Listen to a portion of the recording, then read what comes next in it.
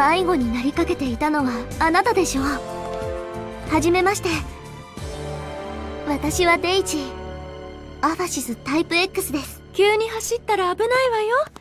デイジーちゃんと迷子ちゃん。マスター？私の運動に関するプログラムは規定値をクリアしています。この程度の走行で転倒や衝突は起こしません。どうかご安心をあなたたちのような可愛い子には別の危険もあるの。私のそばから離れてはダメよ。承知しました。マスター。あなたが迷子ちゃんのマスターさんかしら？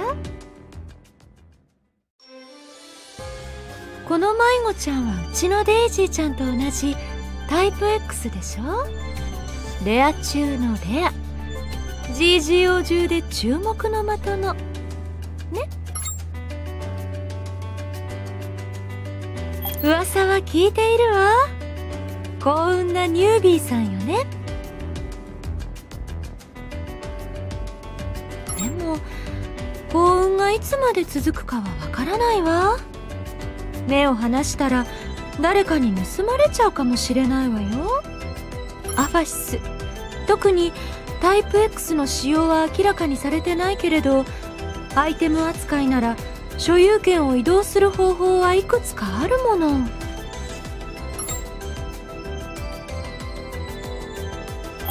当に何も知らないのね。総督府の告知はチェックしているの？アファシスは GGO 初の大型アップデートの目玉なのよ。自発的に考え行動できる高度な学習型 AI を搭載。特にタイプ X はそれぞれに個性が設定されたプログラマー泣かせの仕様なの。おおさらに戦闘だけじゃなくマスターの資産管理あらゆるサポートまでしてくれるのよ。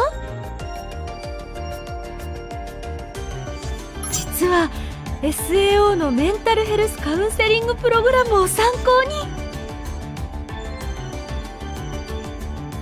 参考に？あうん。まあこれはあくまでも噂だけどプレイヤーの感情に反応する高度な知性を持っているのは事実よね。とにかく性能面から言ってもビジュアル面から言っても GGO 中のプレイヤーが欲しがっている存在よ。だからタイプ X を街中で連れ歩くなんてよほど腕に自信がなければただのおバカさんですわ。まああなたの場合はアファシスを持っていることをみんな知っているから気にしても仕方ないかもしれないけど奪われるのが嫌なら大切なものを守るだけの力をつけるか。強いプレイヤーのスコード論に入るのも一つの手ね。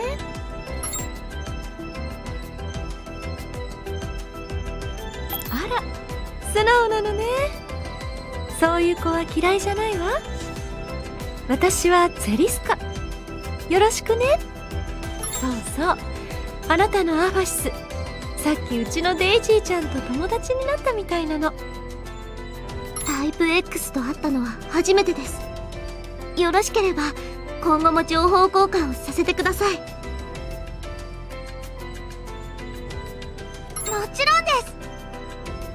ところで迷子ちゃんあなたのことは何と呼べばいいのかしら？マスターのお友達にはレイちゃんと呼んでいただいています本当の名前はマスターだけのものなのです。そうなの。よろしくね。レイちゃん。よろしくお願いします。レイちゃん。いいわね。アバイスが2人並んでいる図でも同じタイプ X なのに性格は随分違うみたい。何よりマスター以外の人に名前を呼ばれるのを嫌がるなんてそんな性格設定初めて聞いたわ。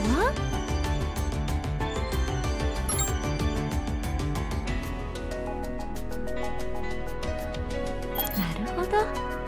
マスターが個性を肯定してくれるからこの子は生き生きとしているんでしょうね。初心者が偶然手に入れたと聞いた時は心配したけれど。よかった。マスター？そろそろ設定されたお時間です。いけない。今日はもうログアウトしなきゃ。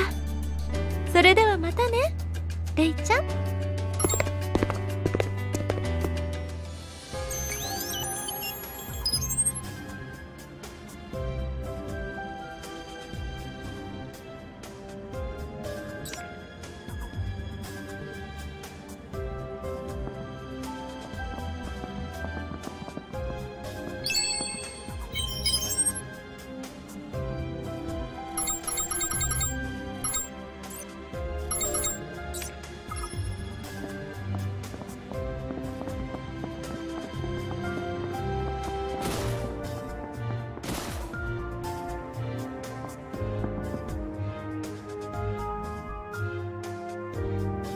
の買い物はあとこの2つを買えば OK ね。クレハこの商品は向こうの通りのショップに行かないと買えないのです。ああそうだったわ。こっちのアイテムは？レイちゃんそっちのアイテムの買い出しはお願いしてもいい？こっちは私たちで買っておくから。了解なのです。じゃあ行きましょうか。えー、っとこの辺だったかしら？あもう一つ先の道だったわ、うん、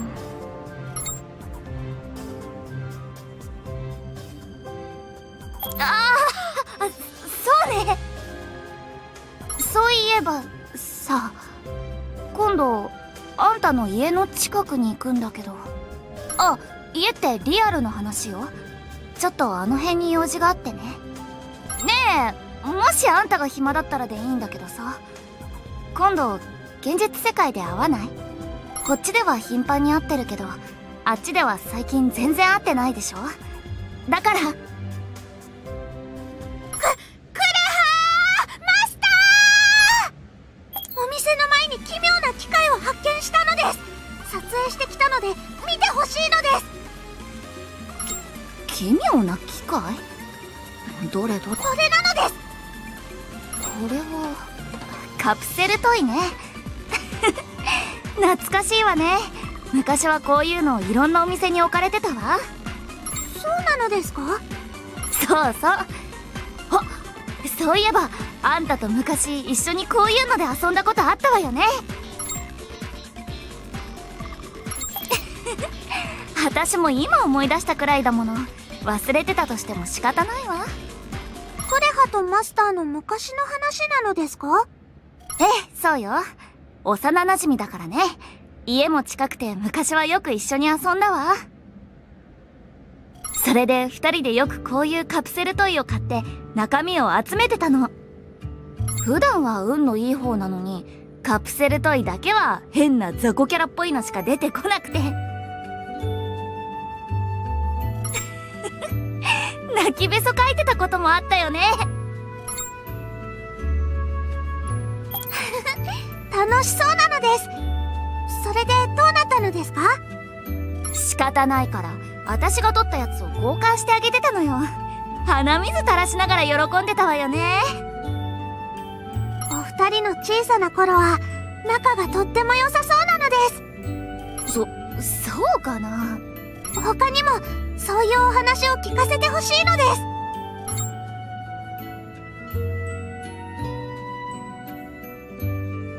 そ、そんなの他のことは忘れたわ。今はそれより買い物が先でしょ？ほらさっさと行くわよ。ほれほさて買い物も無事終わったことだし今日はそろそろログアウトしましょう。マスタークレハ最後に質問をしてもいいですか？さっきの話ですが。そうなのです。だからもう忘れたって。はい。でも一つだけ、どうしても聞かせてほしいのです。二人は、昔はずっと一緒にいたのですよね？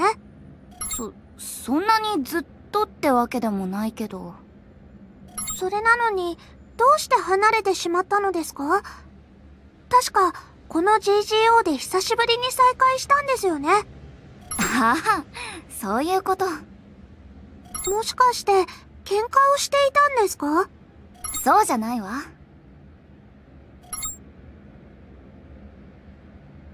ええそうね。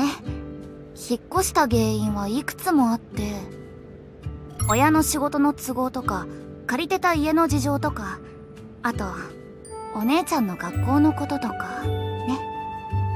クレハのおね？ええ。うちのお姉ちゃんすごく頭が良くてね。学業を優先するためっていうのも理由の一つだったの。あんたもこの辺の話は知ってるはずよね。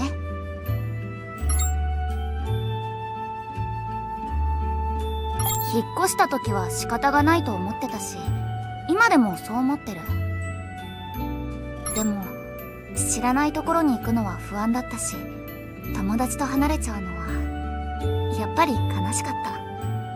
お姉ちゃんのせいじゃないって頭では分かってるんだけどね。クレハは今でも悲しいのですか？まさか。それよりもさ買い物も終わったことだしカプセルトイをプレイしてみない？えログアウトはいいのですか？気が変わったの。ちょっと気分転換したくなったのよ。あんたも付き合って。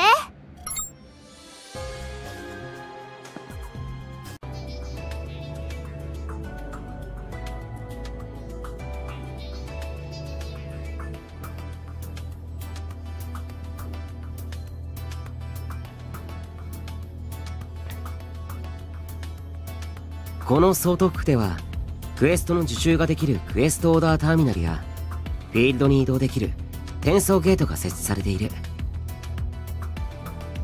今まで受付はターミナル相手で味気なかったんだけど大型アップデート以降はアバシスが配置されるようになったんだ。会話できるアバシスが入ったおかげで使用の確認はしやすくなったよ。じゃあまずはあそこにある受付では共闘クエストを受けることができるんだ。パーティーを組んで強敵と戦うクエストなんかがあるな。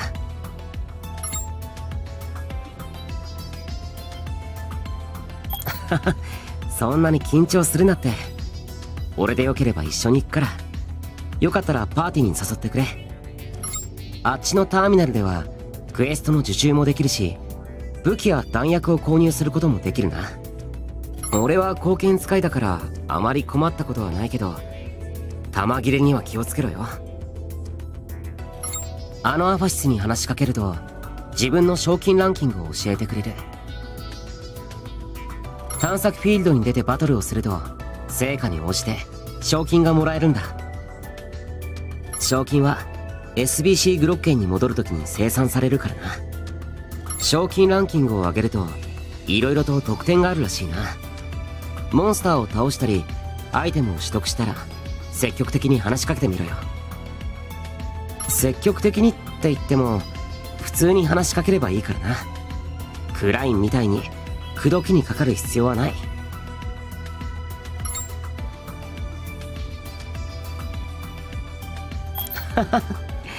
俺の仲間も同じことを言ってたよ。